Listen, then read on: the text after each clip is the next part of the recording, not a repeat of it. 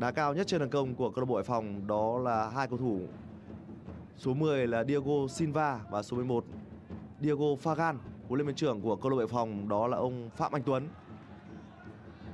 Diego Fagan. Một quả phạt 11 mét dành cho câu lạc bộ Hải Phòng. Đã có tình huống phạm lỗi của một cầu thủ Sông Lam, Nghệ An. Ở phút thứ ba, các cầu thủ Hải Phòng đã được được hưởng một quả đá 11 mét, rất bất ngờ. Diego rất chính xác. Một pha đá phạt rất mạnh mẽ của Diego Fagan Diego Silva. 1-0 cho câu lạc bộ Hải Phòng. Bàn thắng được ghi ở phút thứ tư. Cầu thủ Diego Silva đã ghi được bàn thắng Cho câu lạc bộ Hải Phòng Từ chấm 11 mét ghi được bàn thắng ở những phút đầu tiên, chắc chắn tâm lý của các cầu thủ Hải Phòng sẽ thoải mái hơn rất nhiều. Không có một cơ hội nào dành cho thủ môn Nguyễn Văn Hoàng mặc dù đã đoán được hướng bóng, nhưng anh không thể với được. Trái bóng trong tình huống vừa rồi. Vì lực đi trái bóng là rất mạnh sau pha sút phạt của Diego Silva.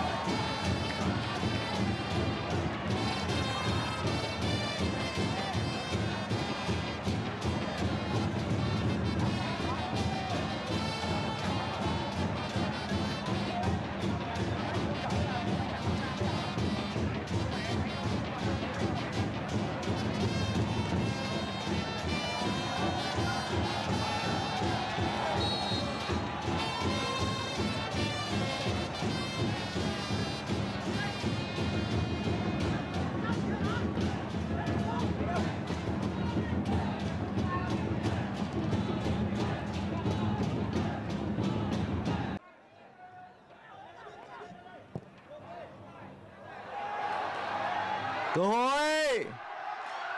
Đánh đầu vào. Tỷ số là 3-1 cho câu lạc bộ Hải Phòng. Một cú hat-trick cho Diego Silva.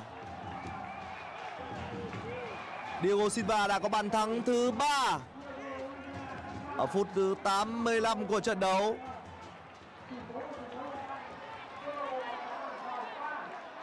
Diego Silva đã có bàn thắng thứ ba khi mà hàng phòng ngự của sông Lam Nghệ An đã chơi mất tập trung trong tình huống này. Để cho Joseph Mbande băng xuống. Đường truyền vào rất tốt của Joseph Mbande cho Diego Silva, ngay lập tức anh đã có bàn thắng. Đường truyền dài lên phía trên là của Doãn Ngọc Tần. Không hiểu sao hàng phòng ngự của câu lạc bộ sông Lam Nghệ An lại đứng hết lại.